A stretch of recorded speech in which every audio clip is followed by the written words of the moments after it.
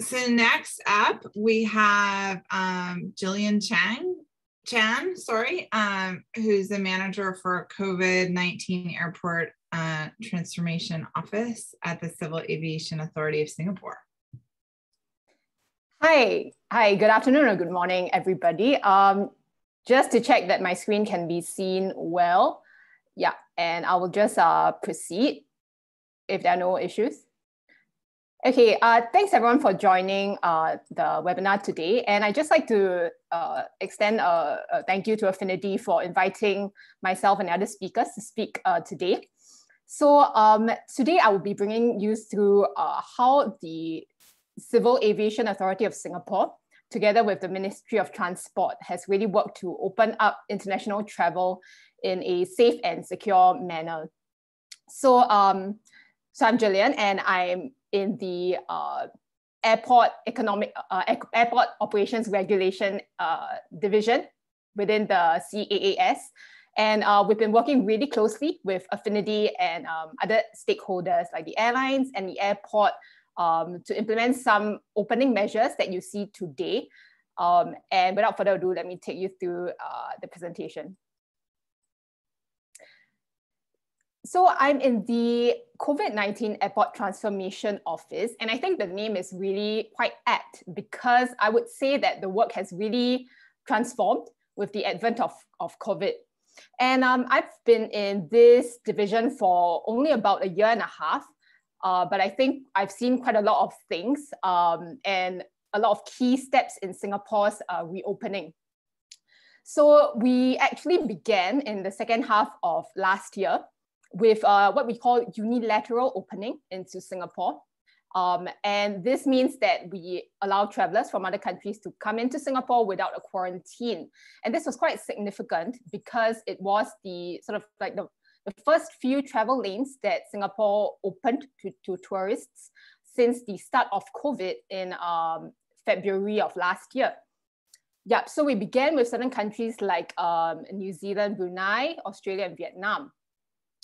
And then we moved towards uh, the first half of this year, where the CAAS worked closely with Affinidi on the digital verification of pre-departure test PDT results.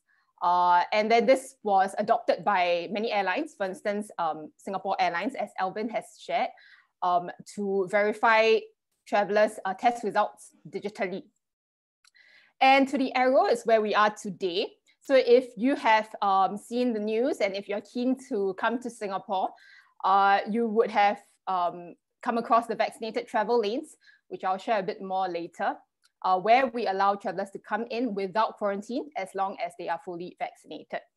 And beyond, so I put a question mark here on further reopening because as you might know, the uh, Omicron variant uh, slight derailment of opening plans, but I'm pretty sure the industry is resilient and we'll be able to type uh, through this variant just as we have for um, the other variants previously. So a quick overview of the vaccinated travel lane. Um, so we have opened to about 25 countries to date. Uh, and travelers have to produce a proof of vaccination before they can travel on this lane uh, short-term visitors and long-term pass holders actually need to apply for what we call a VTP, Vaccinated Travel Pass. So uh, along with Affinidi, the Ministry of Transport and CAAS have actually been working with various countries to uh, digitally verify the vaccination certificates of those countries. And I am proud to say that I think progress is, has been great so far literally we've been reaching out to various countries and finding out what certificates they issue and how can we integrate their QR codes for automatic recognition. Okay, so the next two slides, I'll share a little bit more on the entire passenger journey uh, to enter the vaccinated travel lane. So first we begin with, um, so this slide shows you the step-by-step -step guide for short-term visitors and long-term pass holders. Uh, there are a lot of things do on the slide, and um, it is a complicated process for travelers. But as far as possible, we try to make it uh, easily understandable um, on our website when travelers need to apply for the pass, and also a checklist for them to uh, go through before they, they fly to Singapore. So I just like to highlight the points in, uh, in the red boxes here. Um, short-term visitors have to apply for the vaccinated travel pass, and that is where they upload QR codes of their vaccination certificate for digital verification. Okay, and um, later on, they will also need to show uh, at this step here in pre-departure, they need to submit an S Singapore arrival card where they uh, where they may also need to upload their vaccination QR code. Um, at check-in, they need to show their vaccination proof to airlines and same thing on arrival as well. So I think what I want to highlight from this slide is really that um, vaccination is really a key safeguard of the vaccinated travel lane. And it's very important for us to be able to verify uh, the certificates that travelers present. Yeah. The next slide um, is quite similar, but this is the process for Singapore citizens and permanent residents who do not need to apply for the vaccinated travel pass. Uh, they still do need to show their vaccination proof um, on arrival and also to airlines before they depart for Singapore. Yeah. Uh, this, these infographics can uh, will actually be on our uh, what we call the Safe Travel uh, Office website, and you can also take a look if you are keen on actually coming into Singapore. And we hope that it, the steps are clear uh, enough to follow. Yeah, and I think I want to talk a little bit more on sort of how we verify and also how do travelers present proof of vaccinations. So I think some of the previous speakers did mention, right, you know, today there are so many requirements for travelers to meet before they can uh, board a plane. And uh, for instance, in the instance of Singapore, where we, where we require people to apply for a vaccinated travel pass, how do they know what exactly they need to upload? You know, where's their QR code? you know, do, you know, for, for the, those people who are a bit older, the old folks, do they even know what a, what a QR code is, for instance? Yeah, so in light of all these uh, concerns and uh, I think some issues faced, we actually did up a very detailed uh, set of sort of frequently asked, quest asked questions on our Safe Travel Office website. You can find a link here where we actually go through step by step for uh, various countries' certificates, where to find your QR code, how you're going to upload it, um, you know, even how you can verify your certificate before you upload it so that you don't panic when you face errors on the portal.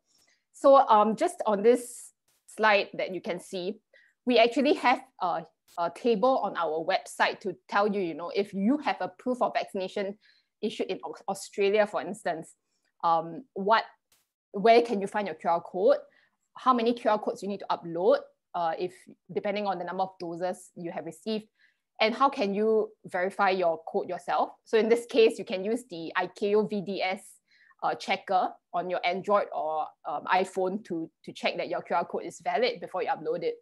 So I think um, this really has come about because we have encountered a lot, a lot of issues uh, surfaced by travelers who, who just um, can't seem to upload their codes properly, can't seem to, to find the right documentation, for instance. Um, and I'd just like to highlight that this has been a very, uh, I guess, a very eye-opening experience because can you imagine for the various countries, like we are opening to Thailand, for instance, you know, or Cambodia, some of their certificates are in, you know, uh, the local languages and they're not in English.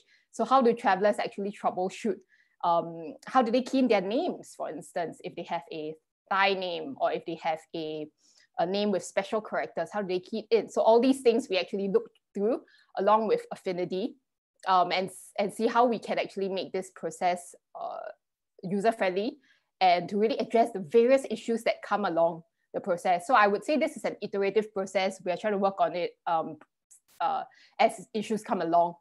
Um, yeah, so yeah, so I, I, I think this is really just to share the, the range of issues that us as regulators also face um, when we try to get people to surface proofs of their documentation, for instance. Uh, and I think before I end this presentation, because my time is almost up, I, I just like to extend a shout out to the various speakers on this call as well. And I think I was particularly inspired by the, the solutions provided by some of the uh, organizations like uh, Amadeus, right, to how to streamline the passenger journey and you know put all the requirements literally on the same app to make it easier for travelers. And I just like to say that for us uh, in the government, I think we're happy uh, to work with uh, private parties to really see how we can you know further improve the experience. And uh, well, as usual, if anyone has any comments or questions, yeah, I'll be happy to take them. And if you do think of uh, coming to Singapore, I, I do hope to uh, I do hope that your experience will be a good one. Uh, yeah, and if anything, yeah, just do refer to our website for the updated information. Yeah, that's all I have. Thank you so much.